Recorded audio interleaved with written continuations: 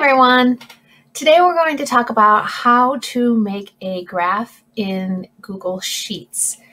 So um, you need to start with a data table.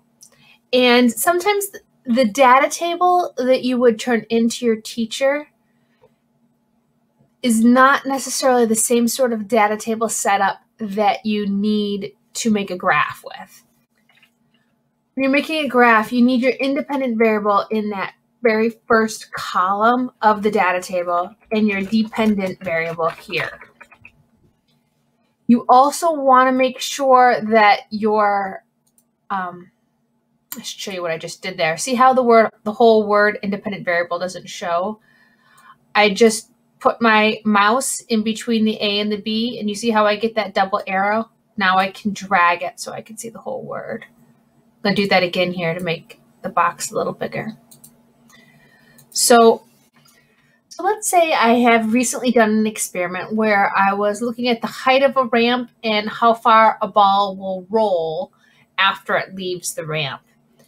And so a couple of things that a student might want to fix on this data table is that right now the numbers are not centered. So how I would fix that is I would highlight the boxes and then right here, I can center the boxes. Another thing that is currently missing is we don't have units. So I recommend that you put the units up here in the heading. So maybe this was in meters. Because what will happen is if you write meters each after each of these numbers, when I go to make the graph, it will not work. It will not be able to do it. So you want to make sure you just have your units in the heading. Okay, so I have my independent variable in the first column and my dependent variable in the second column.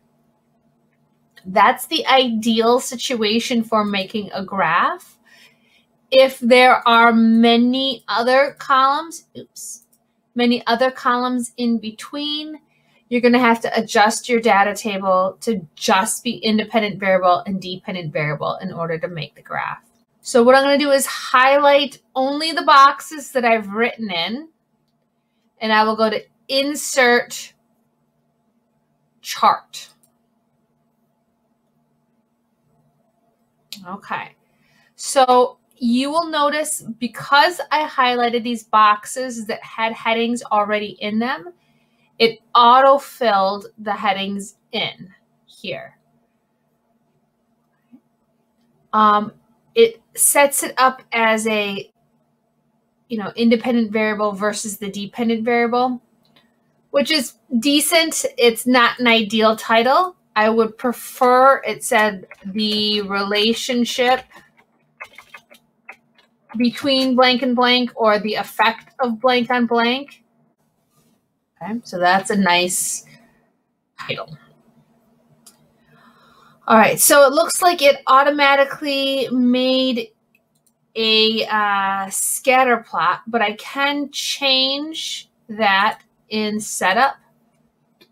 If it does not automatically give you a scatter plot, for most of the time in science class, this is what you want looks like these polka dots here. And the reason we want that and not one of the other graphs is because very often we're trying to determine if there is a pattern and if there is a relationship. And so using a scatter plot is going to help us to determine if there is a pattern. I do want a line here, but I don't want it to just be a connect the dot line. I want it to be a trend line. So if I go to series and I open this up, you'll see how I can now pick a trend line. And now it'll be easy to tell like, okay, yeah, they seem to increase at a steady amount, but not perfectly.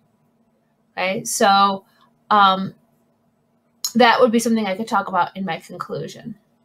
Okay, a couple other things that we should fix up here is that we put capital letters in to the title. And then if you are under chart title and axis and having the drop down menu of title, we want to probably center that text, okay, to make it look a little bit prettier. So please watch this video here about what to do if I have a much bigger data table with a lot more information on it and I'm not really sure what it is that I need to graph. Um, in most cases, you just want the independent variable, what I, the scientist, change compared to the dependent variable, the data that depended on what I changed. So I hope this helps. Have a great rest of your day.